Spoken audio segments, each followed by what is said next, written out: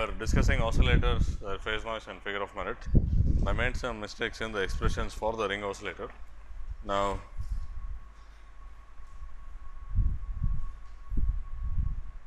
these expressions are correct okay, with the model that I chose this is fine okay. and also with the model that I chose it turns out that if you uh, look at each stage right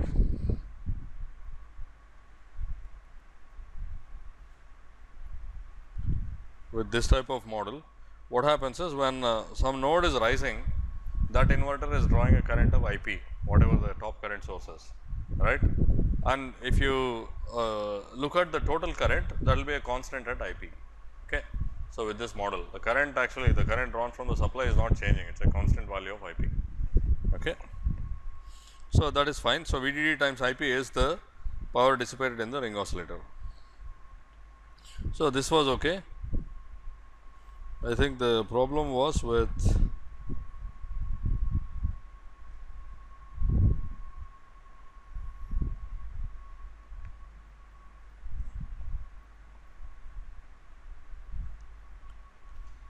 So, when I calculate this uh, S phi of f, I should calculate it the double side, I should calculate the double sided spectral density. Okay. So, that is for f uh, both more than 0 and less than 0 and one side of that will be the phase noise LFF. That is how we have been doing it, right. We have been calculating double sided S phi of f. So, in doing that I had made two mistakes. First of all, you know that this is the spectral density of the MOS transistor, but it is single sided, right. This is the expression you use for white noise when it goes from 0 to infinity. When it goes from minus infinity to infinity, this should be 4 thirds. Okay. Then similarly, there was one more uh, translation going from uh, uh, here to there. So, basically there is another factor of 2 error in these places. Okay. So, basically totally there is a factor of 4 error. So, this is just 8 by 3. Okay.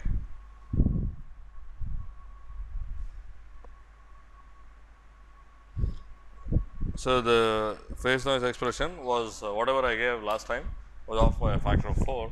It is uh, 8 third k T by V G S minus V T times I P f naught square by f square. Okay.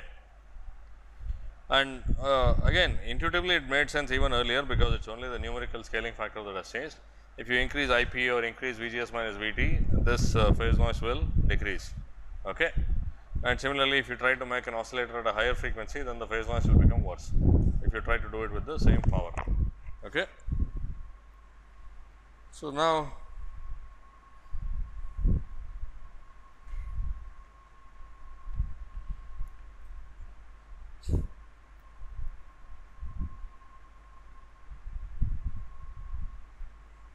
So, here this should be 8 by 3, 8 by 3 and 3 by 8.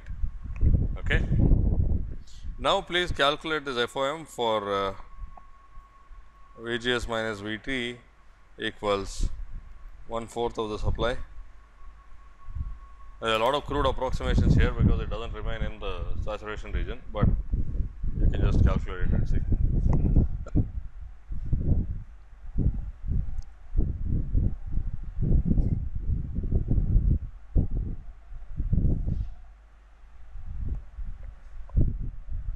What do you get?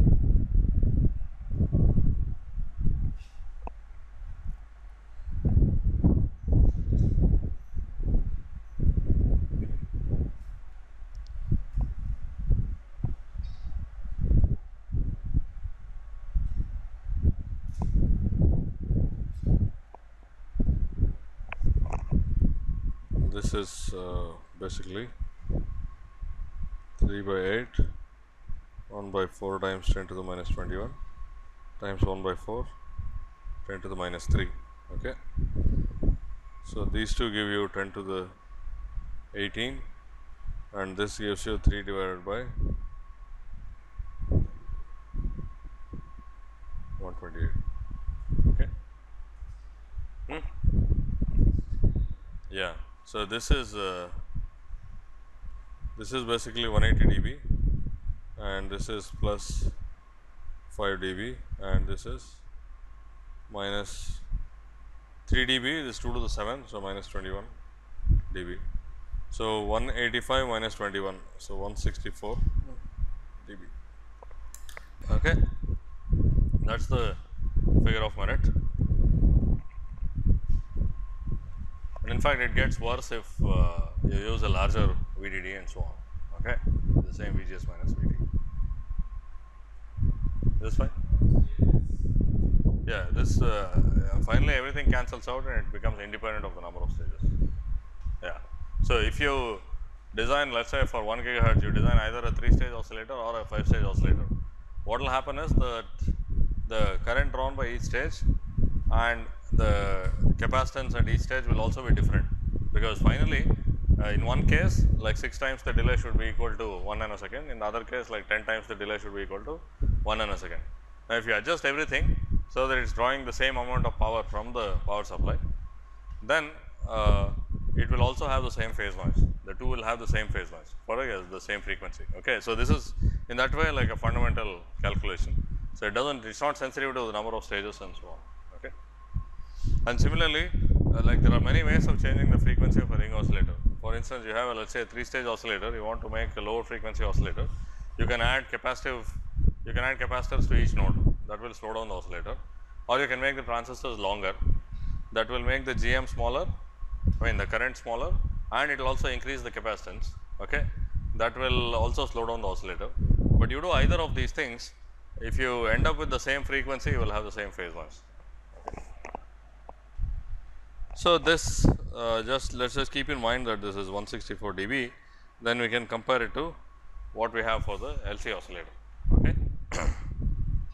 so, when you make an oscillator, you can compare it to that. There have been ring oscillator designs which uh, try to improve upon this by doing uh, various things, but there is not like so much room. I mean, you cannot have ring oscillators with a very good phase noise. I, I mean, certainly not as good phase noise as LC oscillators. Okay.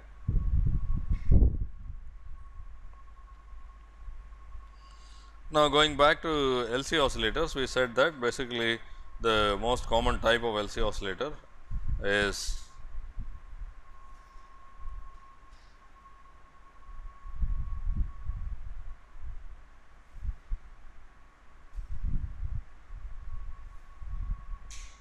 to do this.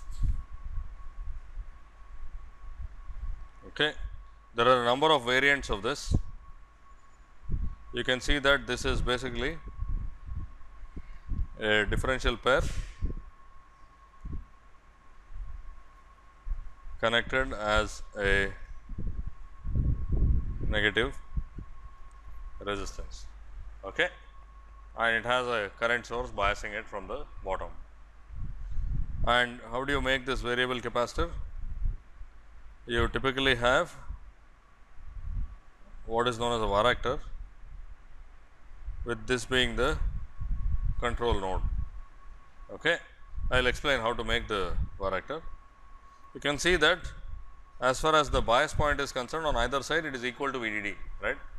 It is equal to this uh, the center tap voltage which is VDD and like I said uh, with this uh, continuous variation you cannot cover a very wide frequency range. So, typically what you also have is a capacitor array with switches which you make by having capacitors and switches. Okay. You have a number of these things you can switch them in or out of the circuit. Okay. It is like very basic right you, you use a larger capacitor you have a, a, lower frequency of oscillation and vice versa okay so you can think of this as this is uh, coarse tuning because this tunes the oscillator in jumps when you go from one capacitor to the next the frequency will jump but to adjust the frequency using the negative feedback loop you will need this continuous control which is known as fine tuning. Okay. Now, what are these things? These uh, these are basically what are known as varactors and their capacitance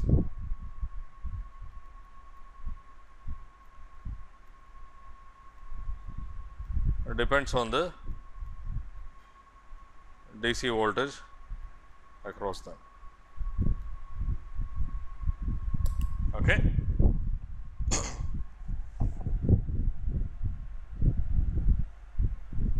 Is this fine?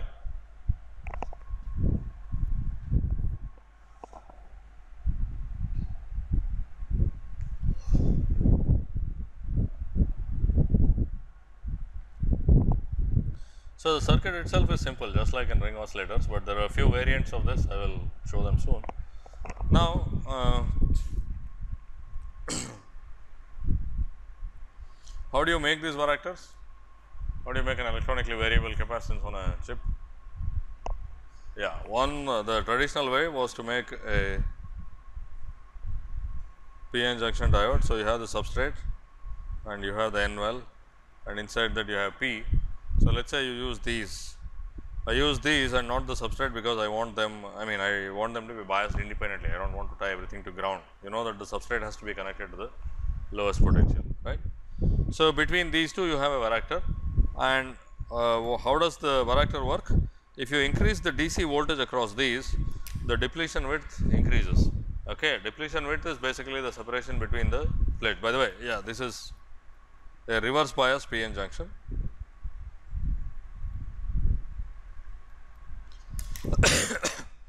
so, the depletion width is the separation between the plates of the capacitor. As you increase the DC voltage, the depletion width increases, which means the separation increases and the capacitance decreases. Okay. So, this is one way of making the varactor.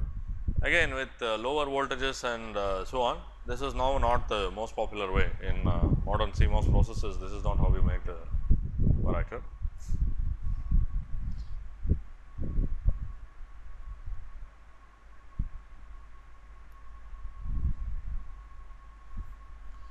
Okay.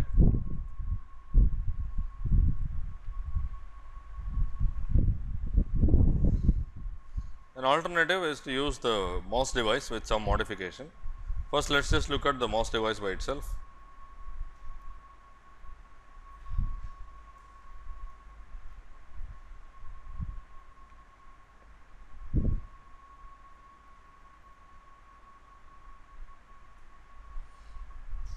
This is a PMOS device and this is an NMOS device, right.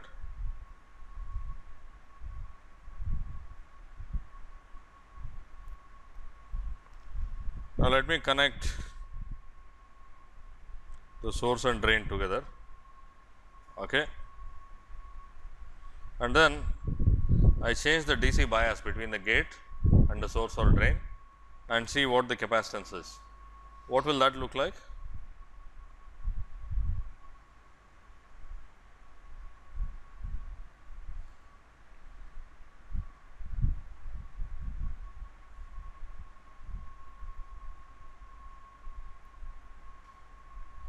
I could also tie the bulk to this one if necessary or I could be independently biased. Does not matter, but what will this look like? C versus V between the gate of the transistor and the source or drain. You have seen this curve, right? Huh? It will be increasing. What happens at uh, even negative values of ENMOS or small values of ENMOS? So, it goes through three regions, does this, right. So, this is accumulation, this is depletion and this is inversion. Okay.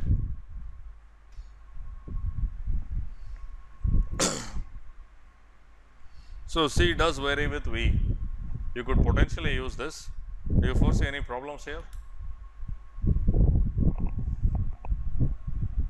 Using this in a using this in a clock and data recovery using this in a VCO which is used in a clock and data recovery circuit.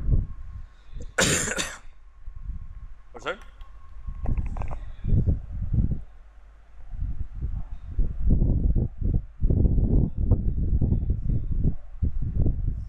Oh, that is what we want, right? We want the frequency to vary with the voltage. Right, this is a VCO. So, this capacitor is used in the used to control the frequency of an LC oscillator. Huh? Yeah, but that's not important actually. Linearity is not important. But I mean, just from a sort of control system point of view, I mean, you have this type of curve. What do you what does the CDR do to correct frequencies?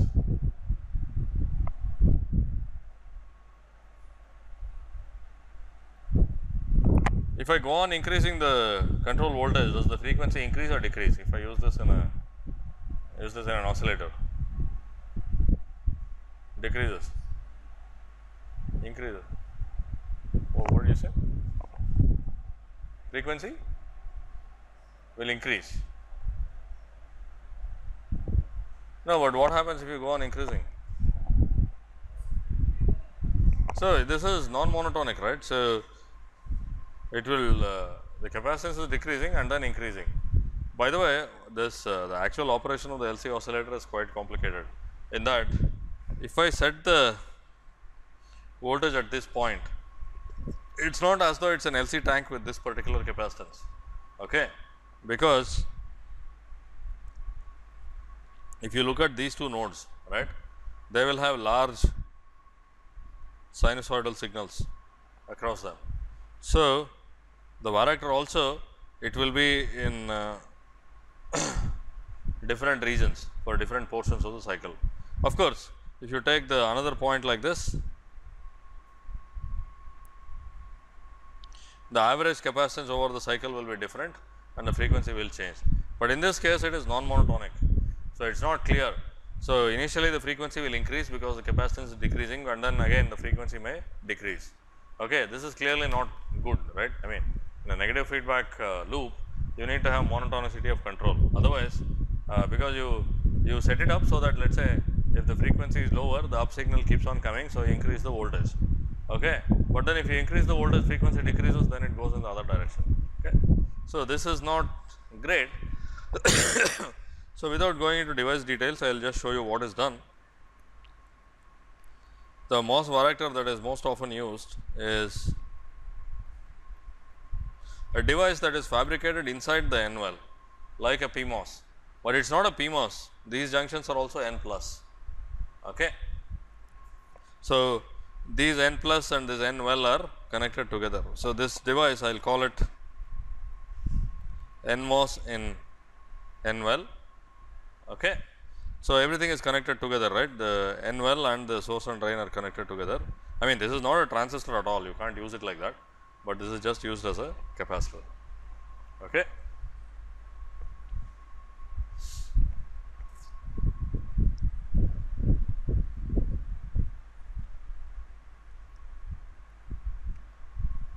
Now, in this case it turns out that the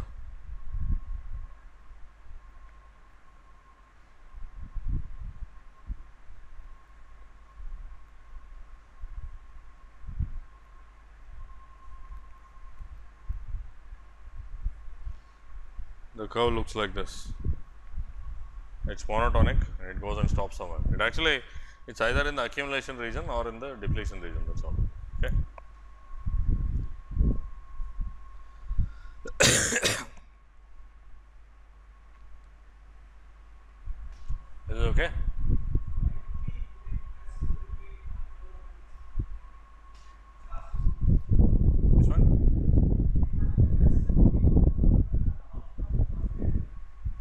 Control node and the output of the oscillator. I mean, we already do, right? That is the varactor.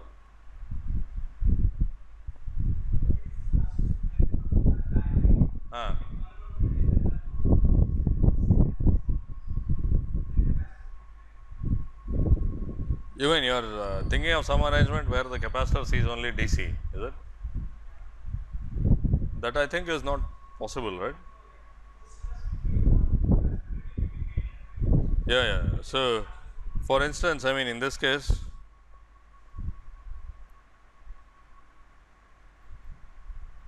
at least in a differential oscillator, it is not clear how you might do that. So, this is how it is, this is the control voltage. Now, this uh, the left side is let us say going like that and the right side is going that way. Okay. So, there is no V control that will make the voltage across them DC, right. So, DC value of V control is uh, fine. But anyway, this is not a problem. Actually, this is in some ways good in that even if the CV curve is somewhat abrupt, because uh, you are looking at the average capacitance, right, the actual FV curve will be smoother, okay, because it is not as though at this point you are operating as this capacitance, right, it is getting averaged over the swing and here it is getting averaged over the swing. So, the difference will be smaller. So, the actual thing gets smoothed out. Okay. anyway, I mean this is not a, particular problem. I just mentioned that that will happen in this case it becomes non-monotonic. Okay.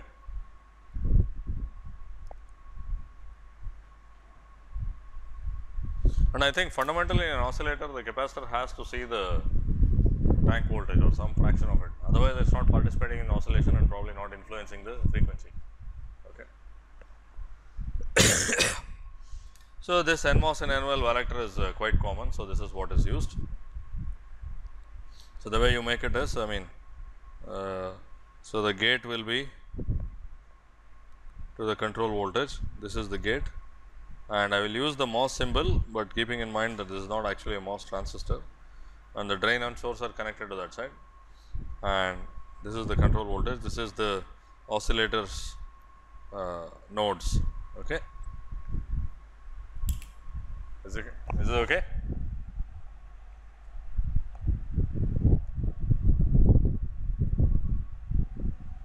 This is the basic LCVCO. LCVCO consists of non-chip inductor, a spiral inductor, you make a planar spiral inductor. That is frequently the bottleneck, its quality factor will be poor and that is the bottleneck. And for the capacitor, you have to use a variable capacitor, for that you use the varactor and you have to also extend the tuning range typically uh, and also correct for process variations and so on. So, you have uh, a, a, coarse tuning bank of uh, switch capacitors, okay, which you switch in so that you bring the oscillation frequency close to what you want it, what you want and then uh, uh, and then you let the continuous time control take over from there. Okay. So, if you plot the oscillation frequency of the VCO versus the control voltage, you will see typically curves like this. It may be increasing or decreasing, I mean it can have either positive or negative slope, it does not matter, but I will show it as positive slope. Now, this will be for one particular setting of the discrete capacitor bank. If you increase that, if you switch in one more capacitor, the frequency will lower. If you switch in one more, the frequency will lower and so on. Okay. So, this is how you make the stuff and you have to make sure that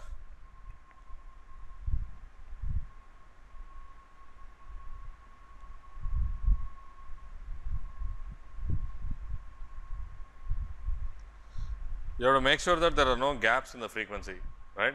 That is when you jump from curve 1 to curve 2, the highest frequency of uh, curve 1 should be higher than the lowest frequency of curve 2.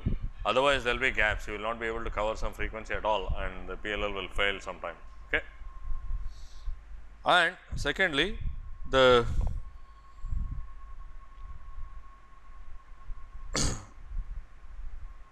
the amount of uh, tuning range covered by the fine tuning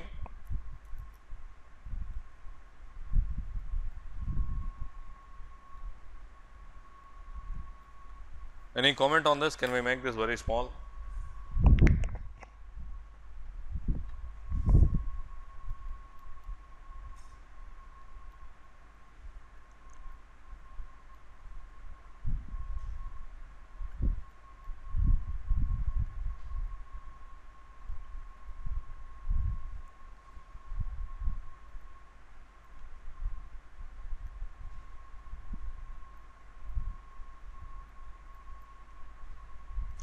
One advantage of making this fine tuning range small is the slope of this is the KVCO, right.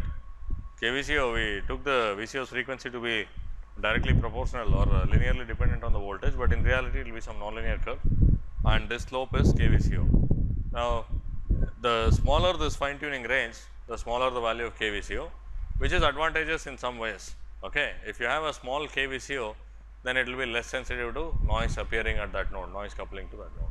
Okay. So, but is there any constraint on how small we can make this?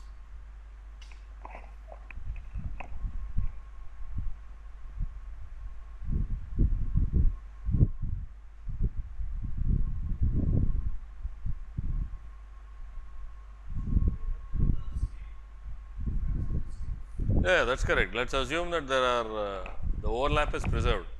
Okay. So, the overlap is preserved, the steps are also small and the range is small. Now, what happens is that these steps are useful for uh, covering for process variation. That is that the inductor is not the exact value that you think it is, the capacitor is not the exact value because of uh, yeah, process variations and so on. And then also you may want to tune over some range. But once you select one of the steps right as the temperature changes you have to stay in that step. Okay the PLL has to be continuously operating. This is especially true for serial links. There may be cases where there may be applications where the VCO can be turned off and on, but in serial links you expect the link to be on and then be operating continuously. So, once you stay with the step then all further variations because of whatever reasons should be covered by that particular step. Okay. So, now uh, if you this is for I mean this set of curves is for one particular uh, temperature right.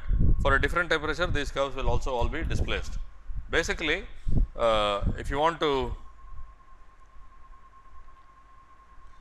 cover a given frequency f naught okay.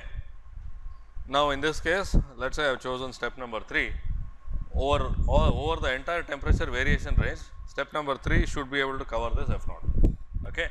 Otherwise, what will happen is I mean let us say temperature changes then uh, the control loop will adapt okay the control voltage will change to either left or right and then it will still be working at f naught. But if it comes to the extreme of the range because of uh, temperature change and then you will have to go to coarse tuning again. So, that means that you have to interrupt the operation of the uh, CDR. Okay. So, that setting up the coarse tuning is like the initial setup right. During that you can't be having this uh, phase locking effect.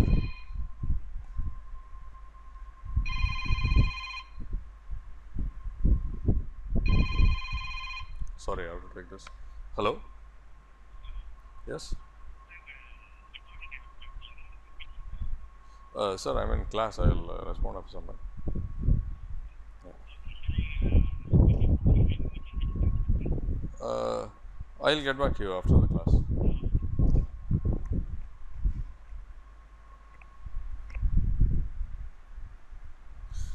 So, the fine tuning uh, curve should be such that it will uh, basically cover a given frequency over all the temperature, I mean the entire temperature range. Okay. Otherwise, I mean as the temperature changes, the operation will be interrupted. If you have to move to another coarse tuning step, you have to interrupt the operation of the PLL and then move. Is this fine? Okay. So, let me quickly show you the different variants of the LCVCO.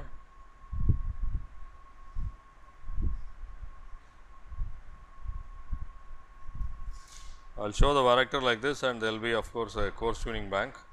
I will not draw the details every time.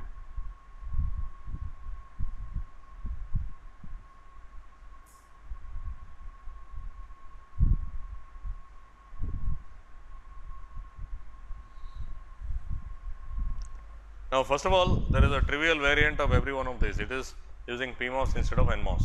Okay. You can use PMOS transistors instead of NMOS that may have some advantages in uh, some processes at least the flicker noise of the PMOS transistor is lower than flicker noise of the NMOS transistor. On the other hand NMOS gives you higher GM for the same size and current. So, you prefer to in higher frequency circuits you prefer to use NMOS. Okay. So, I will draw everything with uh, I mean NMOS or both NMOS and PMOS if necessary. So, this is one particular variant and this is known as a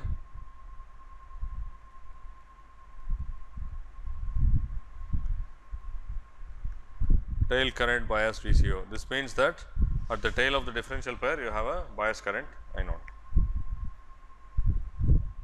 Okay.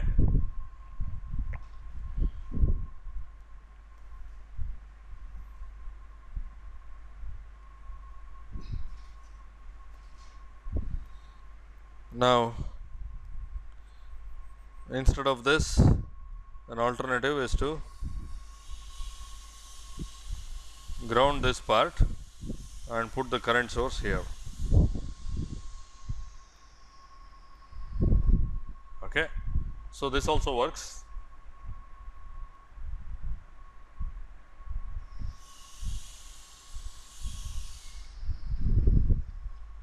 Okay.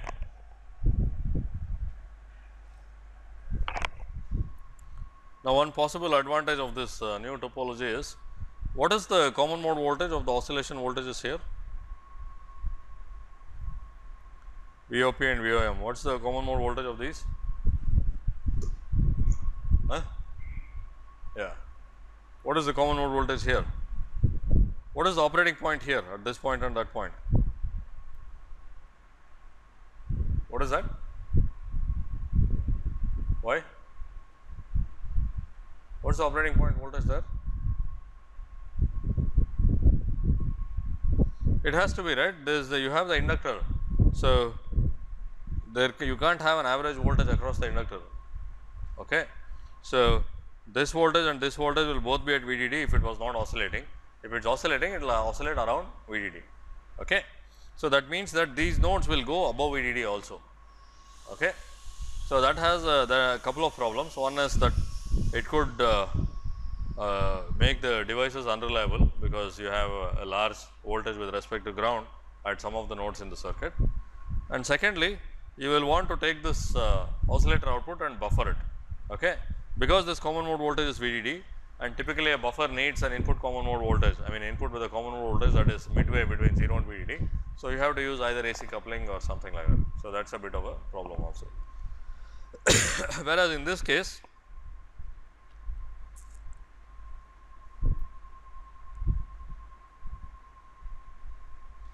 what is the common mode voltage of the two outputs?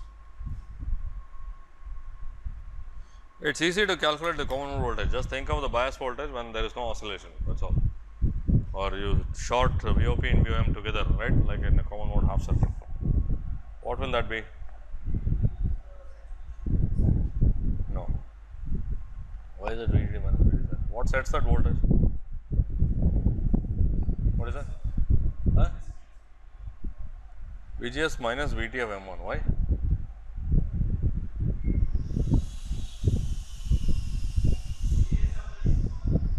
Yeah, it is just the VGS of the MOS transistor, right. Like if I short these two nodes, there will be no oscillation, the tank is shorted. Okay. So, what happens is I naught by 2 flows here and I naught by 2 flows there. Okay. And essentially for common mode this is like a diode connected transistor, right. If you fold the two sides, have you done common mode equivalent circuits and analog So, you can fold the two sides and then by the common mode equivalent circuit is valid even for nonlinear circuits, right. The differential equivalent is valid only for linear circuits, but the common mode is valid even for nonlinear stuff. So, the voltage here will be VGS of uh, M1 at a current of I naught by 2. Okay.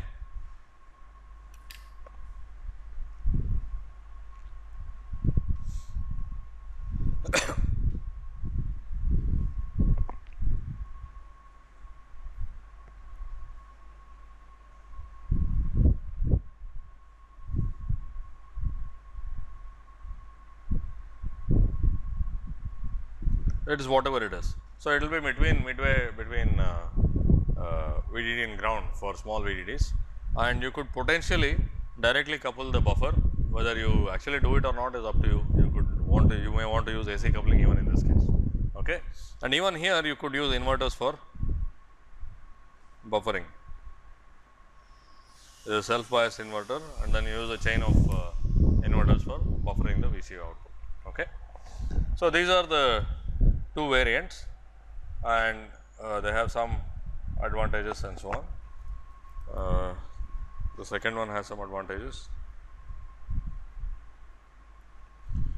Now, sometimes what is done is you try to adjust so L and C it is understood that C consists of the varactor as well as uh, this uh, fixed uh, switch capacitor bank. Okay. So, now in an attempt to increase the GM for the same current, you use both PMOS and NMOS cross coupled pair.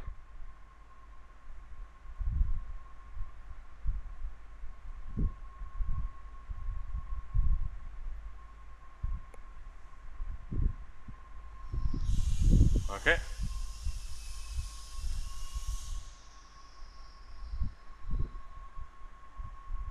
Small signal wise, this M1 and M2 is offering some negative resistance, M3 and M4 is offering some other negative resistance. These two negative conductances add up, okay, while the same bias current flows through both of them. So, that way it is advantageous. And in a large signal sense, what happens is that if you compare this to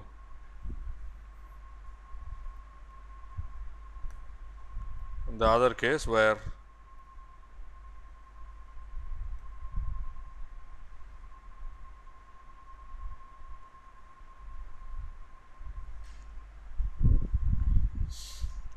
So, in case where you have only NMOS, right. So, you assume that M1 and M2 switch completely because of the sinusoidal voltage. The voltage here will be something like that, right.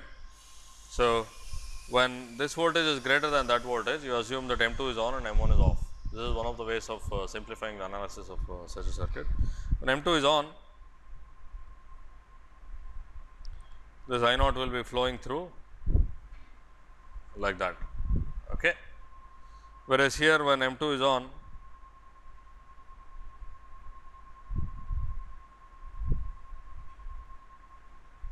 it will be flowing that way and then in the other phase it will complete the in, completely invert the uh, current.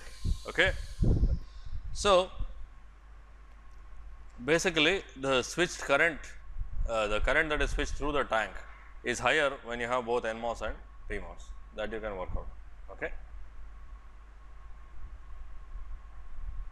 This Is fine?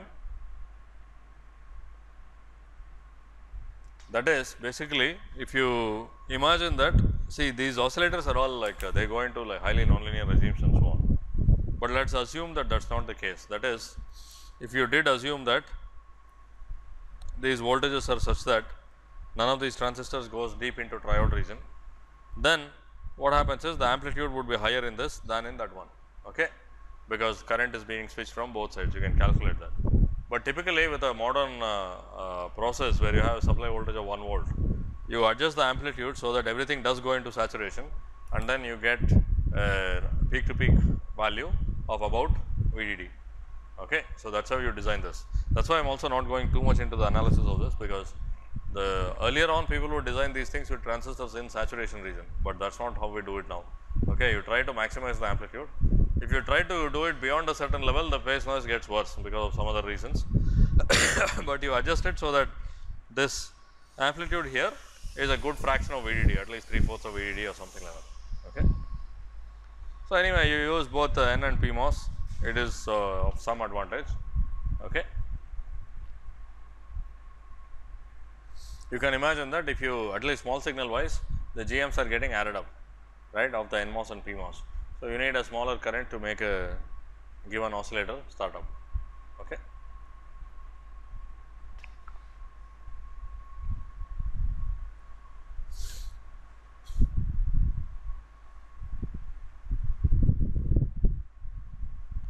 Now, for every one of these things there is a another counterpart which is I mean people try to make it even simpler.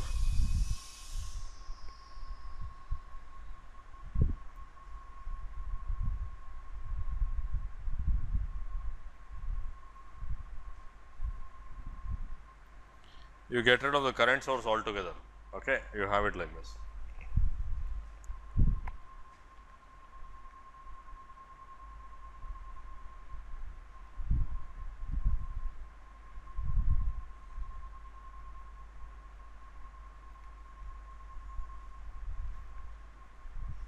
Okay. What is the VGS of these transistors? The quiescent condition when there is no oscillation, what is the VGS of those transistors? It is VDD. So, actually in this case the current is very strongly dependent on VDD. You have to use some particular value of VDD so that this works properly. If you try uh, lower VDD, it may not oscillate or at least the oscillation amplitude will be too small. If you try too high a VDD, then there will be uncontrolled amount of current flowing and it may not even work very well. Okay. So, this type of uh, oscillator as always it has to be used with a low dropout regulator.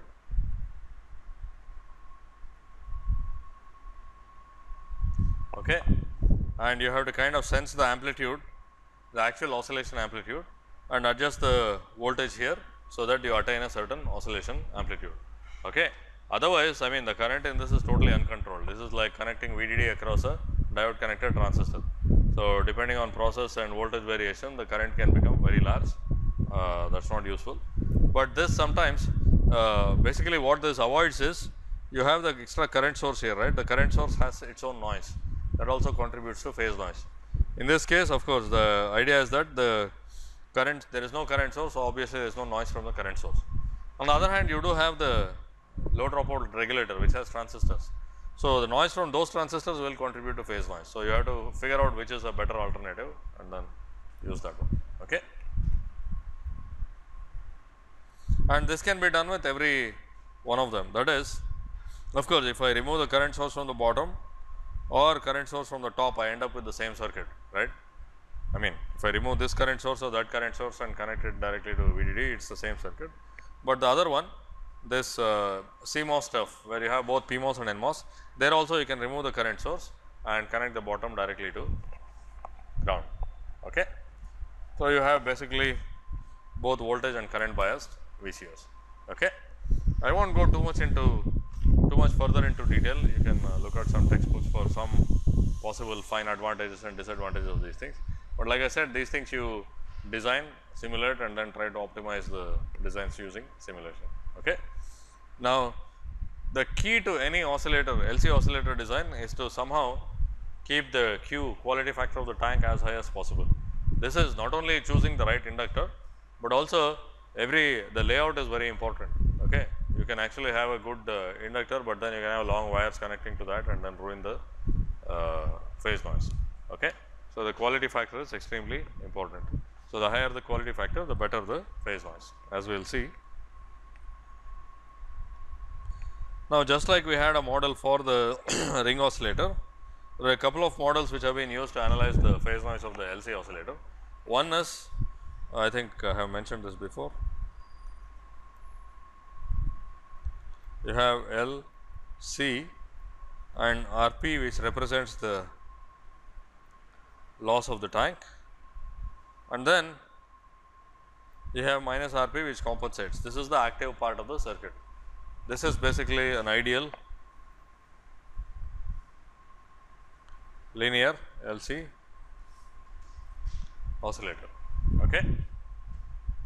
Or maybe I will denote these as conductances. Right.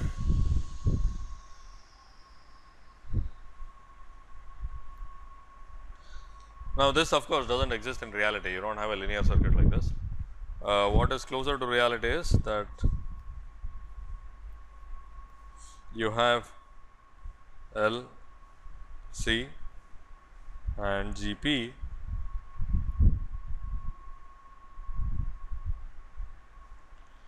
and you have a transconductance of value G n and you connect it in positive feedback. Okay. Now, let us say if this is V and the current that is coming out is I, this I versus V will be something like that. And again an idealized model is to assume a straight line with some saturation.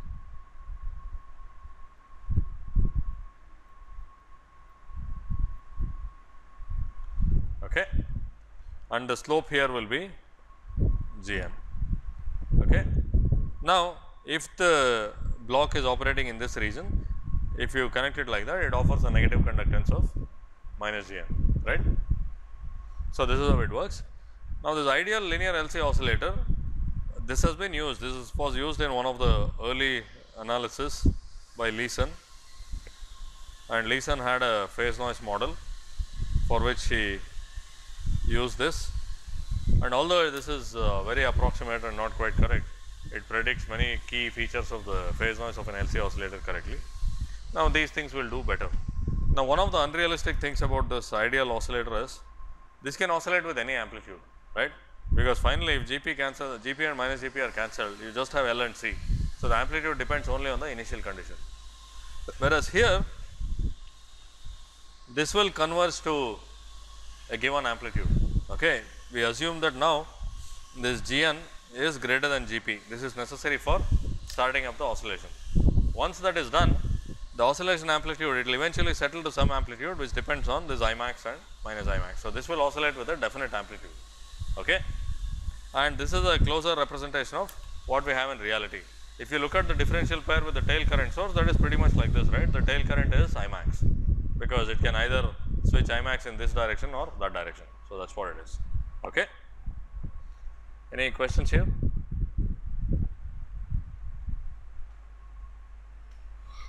So, again I not go into the model and derivation of phase noise from this model, but I will give you the key results just like I did for the ring oscillator in the next class. Okay. So, we have some uh, figure of merit and some phase noise assuming the idealized models. And when you make a real oscillator, you can compare it to